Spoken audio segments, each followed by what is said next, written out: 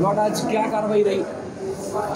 आज ये आपके इल्म में है कि पोस्ट अरेस्ट बेल लगी हुई थी। आ, इसमें जो मरकज़ी केस का जो निकाह हुआ है उसकी और एक गवाह असगर अली की। तो ग़ुलाम मुस्तफ़ा निका ख्वाह असगर अली की बेल थी। हमने इसमें आर्ग्यू किया कि हक़ाइक केस के और फैक्ट्स बदल गए हैं, जब बच्ची की नई एज आई है। उसके अलावा जो निका ख्वाह के हवाले से स्पेसिफिक इंस्ट्रक्शन हैं लाहौर हाई कोर्ट्स की भी और सिंध के कवानीन के हवाले से भी कि जब तक वो एज वेरीफाई ना कर लें क्रेडेंशल्स वेरीफाई ना कर लें, नादरा के डॉक्यूमेंट्स ना देख लें, वो निका नहीं करवा सकते। और कैसे इस तरह से ओरली एक बच्ची के ज़बानी सुन के और वो भी नहीं पता किस हालात में उसने गवाही दी। आपने एक निकाह नामे पर उसकी उम्र अठारह लिख के निकाह नामे को एज सर्टिफिकेट बना दिया और कंसीलमेंट ऑफ़ किडनैपिंग जिसकी उतनी ही सज़ा, जितनी किडनैपिंग की होती है, उसमें आपने अपना हिस्सा डाला।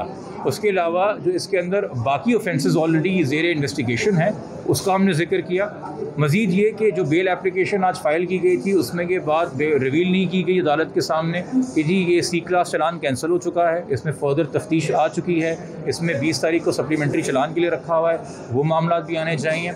और फिर क्रिमिनल मैटर्स के हवाले से सिंध हाई कोर्ट के जो रीसेंट जजमेंट्स हैं, देखिए, बच्ची की स्टेटमेंट पे अभी तक जो बात सारी हो रही है, वो हफ्जे बेजा के अंदर रिलाई किया गया था। टेंटेटिव केस होता है कि बच्ची को छोड़ना है कि नहीं।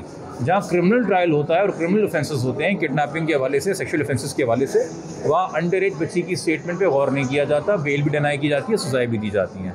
तो आज अलहमदिल्ला अदालत ने हमारे मौक़ से अग्री किया हम शुक्रगुजार हैं प्रोसिक्यूटर साहब के भी उनके भी दलाइल हमारी सपोर्ट में थे और अकॉर्डिंगली अदालत ने जो है वो डिसमिस कर दिए थे। Thank you sir thank you ji